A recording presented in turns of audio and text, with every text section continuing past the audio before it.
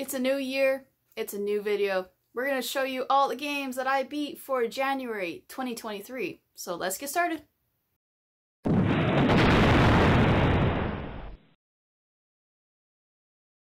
So the very first game that I beat was Crash Bandicoot The Huge Adventure for Game Boy Advance. I hadn't played this game in a very long time. This was one of the games. Plus Tekken Advanced is why I got a Game Boy Advanced. I got this one, powered it up on the emulator, and decided, you know what, I'm kind of tired. Uh, for those who don't know, my two dogs hate fi fireworks for some reason. The loud booms scared them, and I was up really, really early in the morning, and I had nothing to do. So I was waiting for a couple people to wake up, and I just decided, you know what, I'm gonna play a game. Crash Bandicoot Huge Adventure was on my list of let's play it again. I haven't played it forever. It's a couple hours of fun. Uh, I like it better than the second one. The second one's more about flying. This one's actually about platforming. So you pop it in, you jump through, you do your thing. Same characters, you're battling Cortex, you're battling all the characters you got from the PlayStation games, so it's not anything different, but the mechanics are a little off. Um, so if you're used to jumping and, and you get to a certain point in the edge of the platform, you gotta make sure you're a little bit farther back because you gotta slide and do all that stuff. I, I miscalculated and got used to it, but yeah, it was a fun time. After Crash, I decided to play a backlog game, and this is called Hot Pixel. Uh, this is kind of like WarioWare meets uh, some like animated stuff. So basically, it's a bunch of mini games, a lot of mini games put together, and you'll have a time limit, and you have to complete or pass so many in each level to get to the next level. And it's a little bit of a story mode, not much. It's just some guy who tells you, yay, you won, or yay, you lost. And it's mostly about a skateboarder. like, I think they just got a buddy of theirs to, or some guy that they knew to just be the guy. He, he kind of looks a little like late, late 90s, early 2000s skater. And he just, there's just weird. But I didn't mind him. Uh, the mini games were not bad.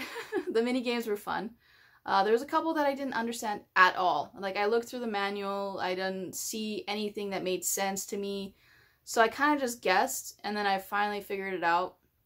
But yeah, you just gotta guess on some of them and then just battle through. But the fun part was all the weird shenanigans from the cutscenes. So just enjoy the cutscenes and you'll you'll have a good time with that one.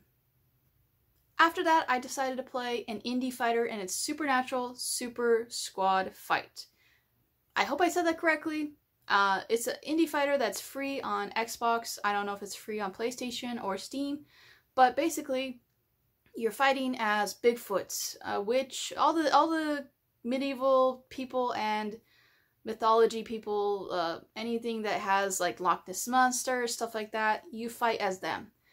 It's kind of like Smash Bros, but only with two characters, and as you're battling, you see that the characters have special abilities and they can fly up, and you don't really have the ability to fall off of stuff. You just keep battling until you run out of stamina or energy or whatever, and then you're screwed. So it's an okay fighter.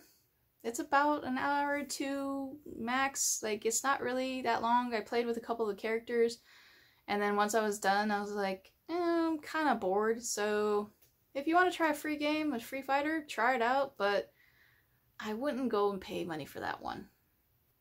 Next is a game, it's another indie itch.io game where I was on this kick of watching games I beat videos, and this one person, his name is Max Miller, sent me on a quest. He was like, I made a video game. Find it, try it out.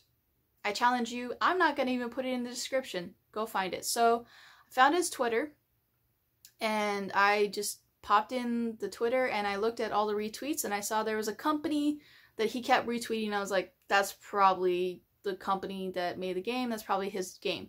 So I looked and the game is called Commonplace and it's basically a four hour game so for those who don't know, most indie games or most games that say, hey, please do this all in one sitting, it, the experience is better, is usually about an hour.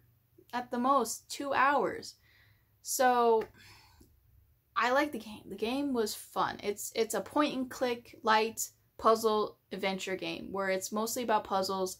You are a character named Sam, and your character it works in an office, and it's very slow to start. You basically are just doing office jobs where you're you look like you're crunching numbers, so you might be an engineer or an accountant of some kind, and you have a bunch of your coworkers, and it's basically the mundane of do this, go here, back to back, same thing. And every now and then you'll see or notice something that is a little off place or a little weird, like a chair is moved to a different location. I didn't think anything of it, so I was like, whatever. And then Sam, the character, would be like, something's off. I don't understand this. What's going on? So if you're wanting to stop and play a game that's about four hours, make sure you do it on a day that's your day off. If you're watching this and you are part of that team for this game ever, like you come across my video, please put on there that it could be up to five hours because there is moments of puzzles that made no sense and there is no walkthrough no manual no help no no hints other than what you find. And if you miss the the item that is from a previous map you are going to be struggling with that puzzle and you have to figure it out in order to move in advance. Little things like that like just i don't care if the puzzles are hard i don't care if it's a point and click and it's going to frustrate me but if you're going to tell me to do this in all in one sitting, you need to warn people that your game is averaging for most players about four hours because what if I didn't have four hours and there is no save? You cannot save in this game. The reason why is because you're supposed to do it all in one sitting. And if I get stuck and I just have to leave or my, my PC gets shut off in some weird reason, I lost all that progress. And I probably, as a character, like, be like, eh, I don't know where I'm at. I don't remember what I'm doing. I'll just bounce as a gamer, being real. Your game is fun, Max, but you gotta make sure you tell people that it's up to four hours. Because I looked at like the itch.io character like uh, review board, and a lot of people are like, "Oh yeah, it's about three hours for me, about four hours for me, about five hours for me," and there is no end credits. Just FYI, I got to this point where I couldn't get up from something, I couldn't do something, like I made a choice. I was like, there's no ending there's no credits no roll of anything. Like it's just sitting there for hours. I'm like i, I let the, the thing go for like 45 minutes. I'm like what can i do? And i guess my choice just left me there what i did. So just warning if you pick a choice at some point and it's done that's the end of the game. So that's all i'm telling you. Like that's what made my game five hours. Because like i was done in about four hours ish and i stopped to eat at one point. So it's probably like three and a half but just fair warning about commonplace. Do not, do not be doing this on your day that you're doing a lot of stuff. Next game is a mobile game that was very popular about four or five years ago. I can't remember exact times, but it's called Sara is Missing. This is an FMV game. It's very, very reminiscent of a couple other games that I know from like Alice is Missing and a couple other shows and movies where you find a phone. It's kind of like a lot of the games that I've played in the past. You find a phone, you don't know what this phone is about, you start scrolling through it, you gotta figure out puzzles, different things like that, and then you start getting weird messages from some random group of people. And they're telling you to do bad things. And the program that is in the phone is like, please, please, that's my human, help my human. Please don't let my human die, help my human. And so you have to make the choice of do you help your human or do you help that person? What's going on? So you have to make choices. If you do the wrong choices the phone gets mad and then stops the game and then you have a bad ending. But if you go all the way through make all the right choices you will get not a good ending. I didn't like it. The ending was not good at all. I didn't really get the ending. I didn't understand it. So the game is amazing the ending is horrible I'm not going to ruin it for anybody who's never played the game, but you can just look online. There's a bunch of YouTubers who play this game, and yeah, it's a very short game. It's like an hour or less. If you want to play it a couple times, you might get a little bit longer, but yeah, each playthrough took me about an hour. Month was like a handheld kick. I was in like a handheld, like I want to try this game and that game.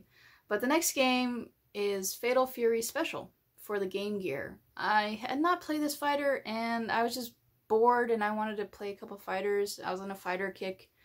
And I decided, you know what? let's go through the list of Game Gear. Let's see what there is. And sure enough, there was a fighter that I've never tried and I really wanted to try it. I like this one. It's a good one. It's uh, basically you are all the characters for Fatal Fury, and it's the buttons are okay. Um, you do have to use a directional pad a little bit more because there's only two buttons. There's nothing for you know anything else but that. So I liked what they did with the story. It's not bad. It's a normal what you do for Fatal Fury. So if you heard the story a hundred times, I'm not gonna bore you with it. But I did choose my normal characters that I always fight with, and I liked it. Good time. After that, I wanted to play a Neo Geo Pocket Color game. Was deciding on what I wanted to play, and I stopped on The Last Blade Beyond the Destiny. This is a Last Blade game. It's a fighter. It's kind of like Samurai Shodown a little bit, where a lot of the characters have blades and you can fight your way through. I like the story. It was a very good story. Um, it did kick my butt. the ending was very difficult. Uh, the end battle was really fun, but I enjoyed the story. I recommend to anybody if you never played a Last Blade game, which I have not, and I'm surprised. I looked and I was like, I thought I did a Last Blade game, but no, I didn't. So I'm gonna try to see if I can find more. I think there was on PlayStation Pass. There is a Last Blade game, so definitely worth your time. If you have Neo Geo Pocket Color or an emulator, definitely try this one out for sure. Fun fighter. So the next game is a handheld game again, and it's called Bratz. It's kind of like Dance Dance Revolution, where you have arrows that your character has to hit for the concerts, and you have to keep doing really well in your performances to get to the end of the story. You get just like a, yay, you did really good, try the next character. I was like, I'm not gonna try the next character. I did all this. It's kind of like Barbie, you want to build up your character career and that's it it's like nah i'm good i'm not gonna go any farther that's that's all i'm gonna get is one character for me it's a bratz game it's not the best game in the world but it's not horrible i guess in my opinion but you might be saying no i'm never trying a bratz game but could be a guilty pleasure i guess after that i decided to play a switch game uh, i had a bunch of games that i wanted to play and it was called one night stand Basically, it's a game where you are waking up in a bed and you don't know where you are. You have had party last night and I guess you found some random stranger, don't know who she is, and you wake up and you're like, oh great, I gotta figure out what's going on with this. And the one thing that I did was I got every ending because it's very easy. You can literally just walk out on her and just be done, and then that's the end of the game. And it's like, I wanted some challenge because there's like nobody can die, nothing can happen, it's just a puzzle game. So I tried multiple weird things. I tried stuff like uh, play the guitar that she has in her room, open up her laptop, find stuff in her wallet, different things like that. So if you want to try a puzzle game, it literally is just a puzzle game and see what all the stuff that it has. Yeah, get all the endings. It's not a bad game. It's not horrible, but it's not like a amazing game. It's an indie game. I supported the indie game because I did want to try it, but don't pay a lot. Pay like five bucks or less for this one. Again, another handheld game, and that is Mighty Morphin Power Rangers, the movie. I had played this on stream, but it bested me, so I wanted to go back and finally beat the game. So I took my time and I battled through. I figured out the ending, and actually I was very close to the end. I literally, if I had beaten the second form of the character, I would have been done and I didn't know that. So I was like, let me keep going. And when I did beat it, I was like, yay! So I did play as Tommy. I kept the, the, the game going as Tommy because I wanted to show respect to, to our, our Tommy for sure. So yeah, it's a fun game. It's a fun beat 'em up. I, I recommend it. I love the story because it follows the timeline of the movie 100%. Ivan Ooze is a really badass boss. He is difficult, very hard to beat, and the final battle was just exactly like if you were to play either the Genesis game or the Super Nintendo game or the Game Gear, the first one. The last battle is always the worst because it's two forms, so definitely worth the time. I recommend it. All my Power Ranger fans, try this one out. After that, another handheld game, and I'm going to have to read this title because this one is very difficult to remember. It is The Match of the Millennium, SNK versus Capcom. This is a great fighter. Basically, you are getting Capcom versus SNK, and it's handheld, and it basically it is with another Neo Geo Pocket Color game. Um, This one had a very difficult ending. You battle both of the bosses. When I saw Bison, I was like, you gotta be kidding me. I have it was like um back to back to back battles. It was kind of like Mortal Kombat, which is really really hard where they have you fight your doppelgangers. So you'll fight the the characters you already fought, but they're harder and more difficult. So all the characters that were worse in the list, you'll get them again, back to back 3 of them. And if you can't keep going, you'll you'll have to redo it. And then the, having both of the the bosses from SNK and Capcom come in and battle me, and then I had to survive and have enough life for the second person because they would alternate it. If one time it's it's Bison first, and then second time is Bison second, and then you're like, oh, I'm done, whew, and then you're like, no, I'm not done. There's one more boss at the very end. You're like, I give up at the very end. I was struggling. This was a hard fighter. I recommend all my fighter buddies who have played uh, like every fighter find this on a ROM emulator or find this on Neo Geo Pocket Color. This is a badass fighter. It will challenge you to your core. You will be battling and yelling at the screen and all that stuff. So highly recommend this fighter. I, I had a good time with this one. So I went back to the Switch and I saw the new list of games they put on the Genesis and I was like, Virtual Fighter 2! I've been wanting to play this game forever, but I didn't want to pay what it was going for.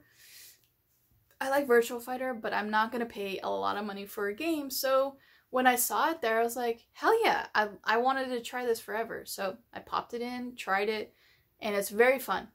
The weird thing though is the throws literally will you'll be in the middle of the ring and if a guy or a gal grabs you and throws you, you'll be at the very edge of the ring. So just watch out for the throws. That's the only thing that can knock you out. Like just block, learn how to block in the fighter and you'll be fine. So I recommend for anybody who's ever played a, a Virtua Fighter game, blocking is your friend and stay away from the edge of the ring. If they throw you, hop over them and put them at the edge of the ring and then you can just knock them out and be done. So I highly recommend that for sure. After that, I sticked with the Switch and I went to the N64. I've been playing Dr. Mario 64 for a while. This has been a, several months of play a few levels, try to beat it, and not get very far, and then try again, keep going, getting better, getting better, getting better, trying to keep going. So I recommend if you love Dr. Mario, Dr. Mario 64 is a very fun game. It's actually kind of like Puyo Puyo Tetris, um, where you're battling another character and you have to beat them, and the very end gets very difficult.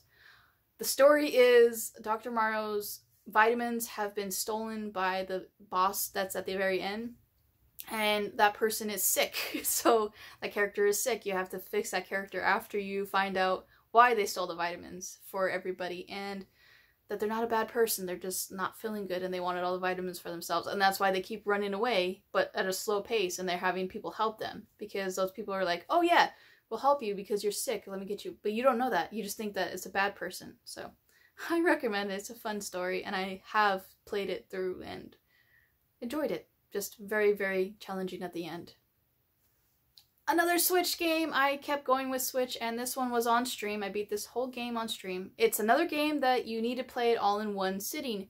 It's called A Short Hike. Very fun game. I've seen this on several people's lists for 2019, 2020, and 2021. This game is a knockout of the park. This game was so much fun. So basically, you are a little bird who is going on a trip, a hike with your aunt, and you want to call your mom to tell your mom that you're okay, but there's no cell phone reception. You don't know where to go, so you have to go hike up all the mountain to get to the top. But you have to get feathers, golden feathers. So what do you have to do? You have to help other people to give you golden feathers or find them along the trail. I love this game. This game was a very fun game. I had a blast playing it through. The ending was super cute, sweet, it's a 10 out of 10 for me. This game was one of the games that I really enjoyed. So if you find a short hike, it's on sale a lot of the times.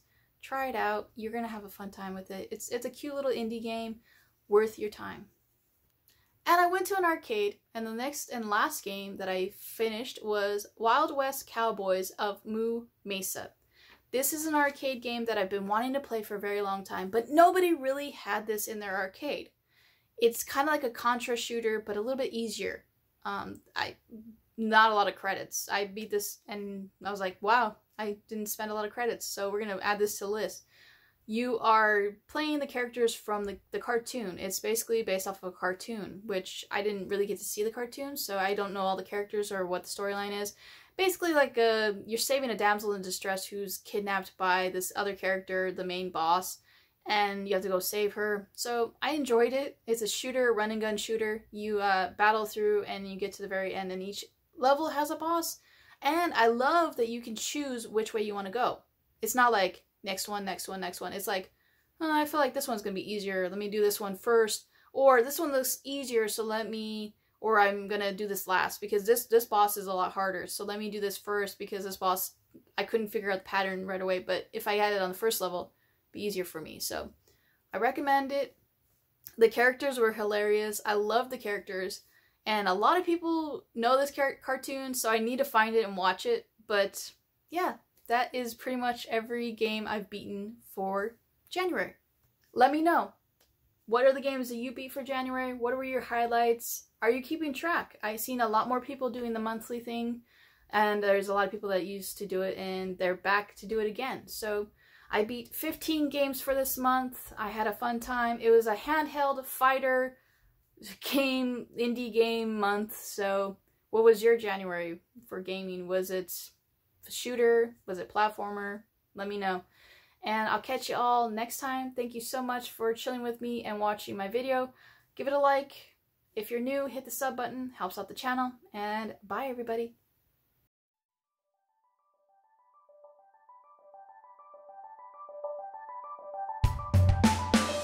Linda the gamer gal. She's here, she's playing games. Linda the gamer gal. She's here, she's playing games today.